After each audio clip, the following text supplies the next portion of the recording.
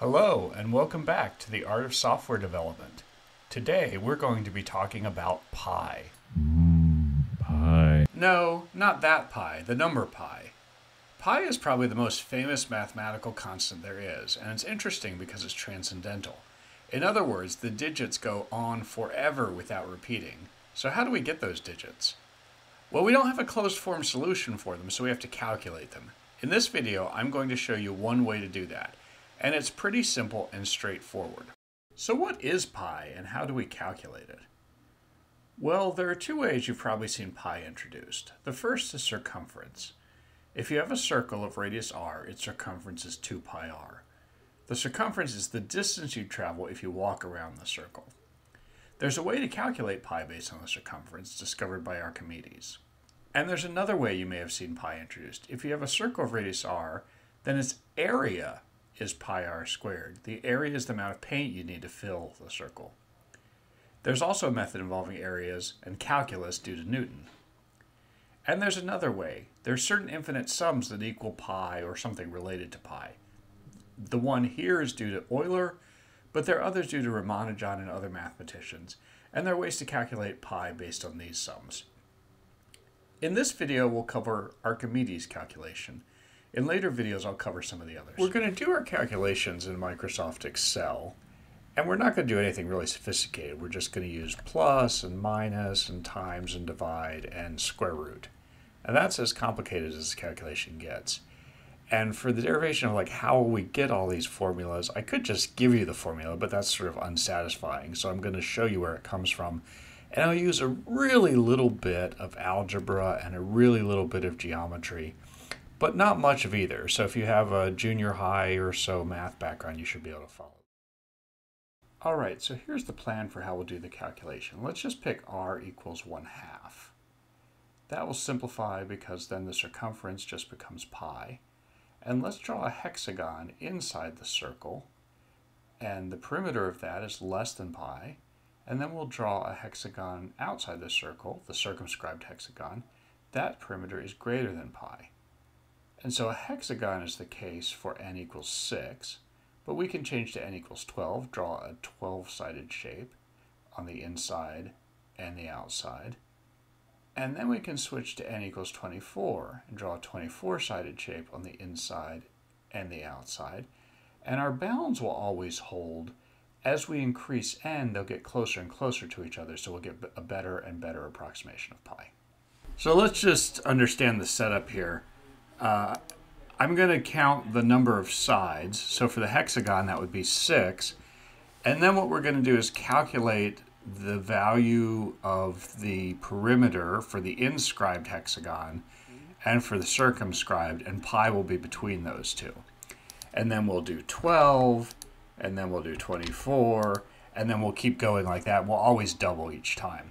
And uh, in a second, I'll show you how I got these numbers. That we'll we'll change these to be a formula, and then we'll put in some extra stuff in the middle here to support that formula. In a minute, we're going to get to formulas for the perimeters of the inscribed and circumscribed circles. And to do that, we need a little trigonometry. It's just a really little, but it's the core idea of trigonometry. Let's say we have a right triangle, a triangle where one of the angles is a right angle, and another angle is theta and let's say the sides are A, B, and C, then all the right triangles we can make with that same angle theta are similar to each other. So if we scale up one side by a certain amount, we scale up the other sides by the same amount. So the actual values of the sides can change as we scale, but the ratios of the sides are constant for a given angle theta.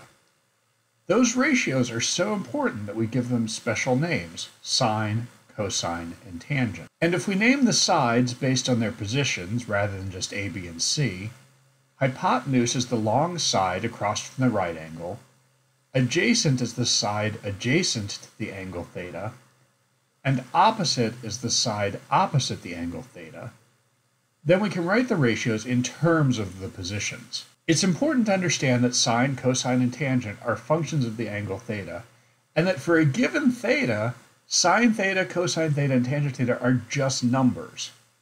We haven't talked about how you'd calculate those numbers, but we will in a while, at least in some cases, so we can get the inscribed and circumscribed perimeters. Now we're ready to calculate the perimeter of the inscribed shape. I've drawn a hexagon here, but we'll do the general case for an n-gon in what follows. Let's start by zooming in. And let's complete the triangle here by drawing a connecting line and labeling the angle theta. Over on the right, I'm going to make a scratch space for formulas. And let's start with theta. A full rotation around the circle is 360 degrees, and we're dividing that into n shapes. So theta is 360 over n. And the perimeter is just n times the length of one of the sides. Now let's bisect theta, split it in the middle, and look at half the angle and half the side. And we'll adjust our perimeter formula accordingly. Notice that we have a right angle here, so we can use one of our trigonometry formulas, specifically the sine formula. Putting in the opposite is half side, and the hypotenuse is a half. And now let's go ahead and move the half to the other side and plug that into the perimeter formula and cancel the 2 and the 1 half, and we get our final formula for the perimeter of the inscribed n-gon. To get a numerical value for the perimeter of the inscribed hexagon, we have n equals 6, so 360 over n is 60. So we'll need the sine of 30 degrees. We'll come back to the full perimeter in a second, but in the meantime, let's calculate the sine of 30. And while we're at it, the cosine and tangent too. Let's start with an equilateral triangle. For convenience, we'll make all the side lengths 2, and of course all the angles are 60 degrees. Let's drop a perpendicular bisector. It splits the bottom into two equal parts of 1, and it splits the 60 degree angle at the top into two 30 degree angles. Let's focus only on the left-hand triangle. For right triangles, there's the Pythagorean theorem. I won't prove it in this video, but it's fairly easy to prove. There's even a Mathologer video where he proves it in many, many different ways. Plugging in the numbers for A and C and solving gives us that B equals the square root of 3.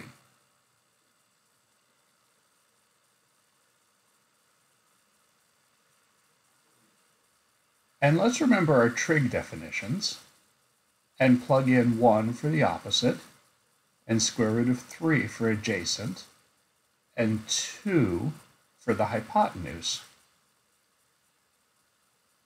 And there we have it, values for sine, cosine, and tangent of 30 degrees. Okay, here we are back in Excel. In this little window over here, I've put together a cheat sheet of the formulas we've used so far, and let's start filling those into Excel. So we want to start with a hexagon that has n equals 6 sides. So theta is just 360 divided by n, and theta over 2 is just half of that. Okay, so now we need the sine of 30, cosine and tangent. Well, we have that from just now. So that's a half. This is equal to the square root of 3 divided by 2. And this is equal to 1 divided by the square root of 3. And then the perimeter of the inscribed one is n, which is that, times the sine, which is that. And that's the value 3 that we had before. Okay, so now the next thing we need to do is get a formula for the circumscribed circle. Fortunately, since we've already done the inscribed one, this is a fairly easy thing to do. The perimeter for the circumscribed n-gon is very similar to the perimeter for the inscribed n-gon. First, we zoom in Draw sides to make a triangle. Label the angles and the half side. Write our formulas. The perimeter equation is the same in terms of the half side. The difference is in our right triangle. Before, the hypotenuse was a half. Here's the adjacent side. So instead of the sine, we need to use the tangent. But everything else flows the same way.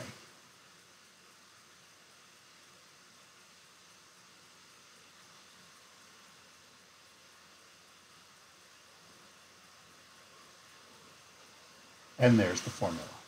So back in Excel, let's go ahead and add that. And the formula is just n times the tangent. And that gives you the upper bound. And you can see that this is correct. Like 3 is less than pi, and pi is less than 3.46. So, so far we're doing okay. Now what we want to do is make higher n. So you might imagine doing 8 or 10 or something. But what we're actually going to do is we're always going to double it. So each time we'll multiply by 2. And I'll do a handful of those. We can copy some of these formulas down.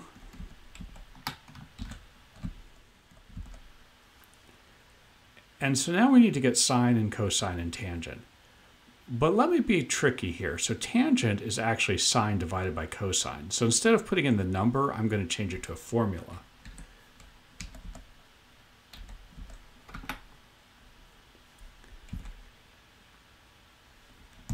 So now all we need to do is figure out how to fill in sine and cosine as our angle gets smaller and smaller and smaller.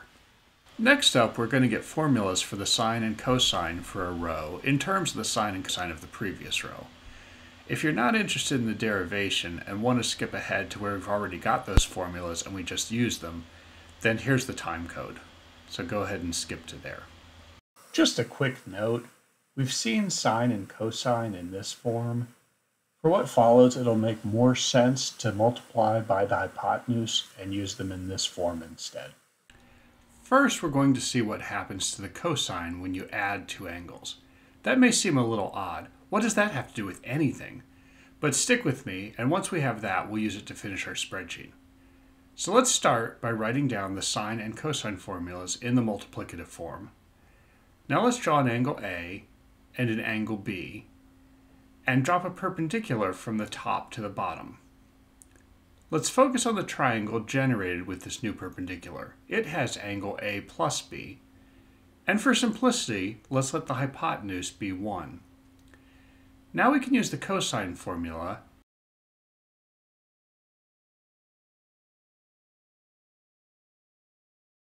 and we get that the bottom side of this triangle is the cosine of A plus B.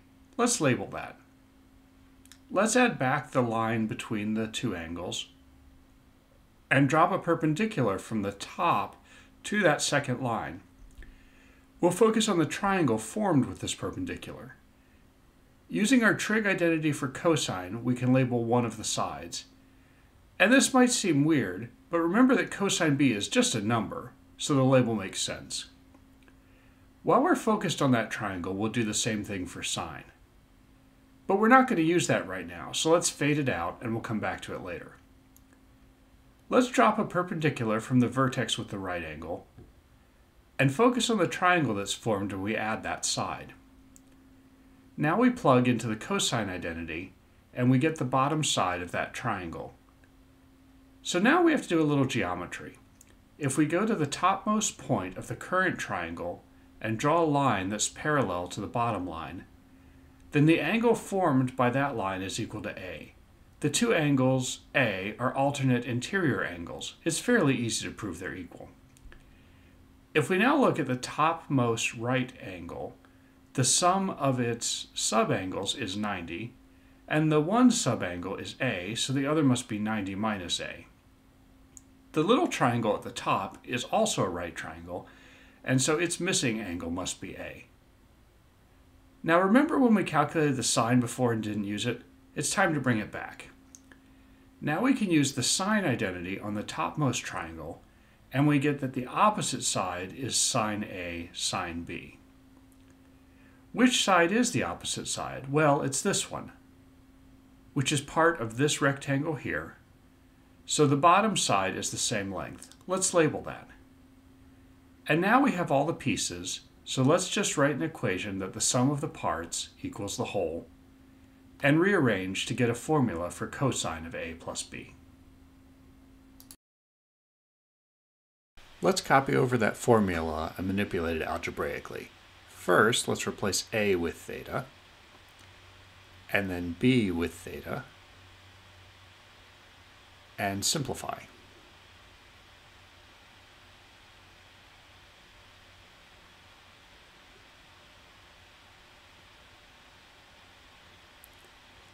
This is called the double angle formula for cosine. Let's put it aside for a bit.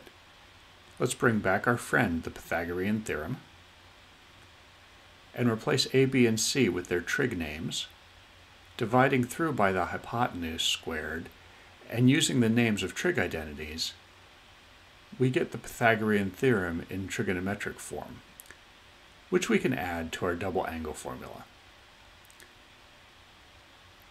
Now let's make two identical copies of the formulas. We're going to rearrange the Pythagorean theorem. On the left, we'll solve for sine squared, and on the right for cosine squared. Now plug that into the double angle formula and simplify.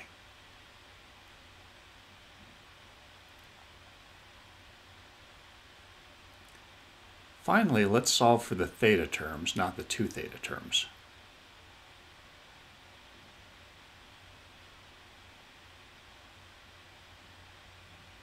And there we have our half angle formulas.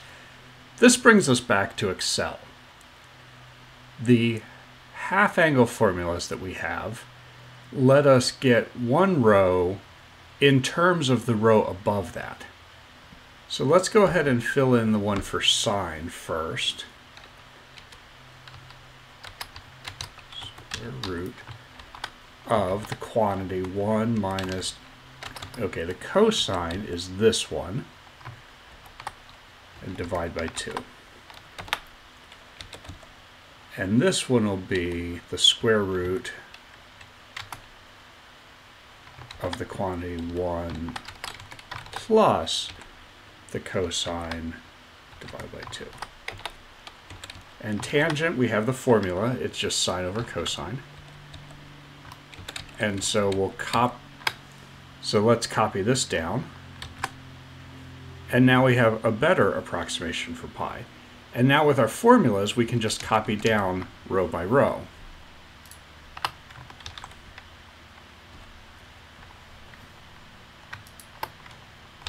And you can see each round you're getting closer and closer to pi. 3.14. And I'm just going to go for broke now. And so that's how with a handful of fairly simple formulas, you can calculate pi. Let's go ahead and copy down some more. And you can see we're getting a better and better approximation. And then something interesting happens if we copy down even more. We start getting junk, and it looks like right around here is where we start getting junk. You can see that everything was closing in and then it started messing up. That's not a problem with what we're doing. That's a problem with numerical limits on how small numbers can be in floating point numbers. I'll make another video at some point where I talk about floating point numbers, but if you wanted to get more digits of pi using this method, you could write a Python program or something like that. Anyhow, I'll just go ahead and delete the problematic ones, and I'll leave it here. I hope you've enjoyed this video, and please like and subscribe, and leave me a comment and let me know what you think about this and what other topics you'd like to see.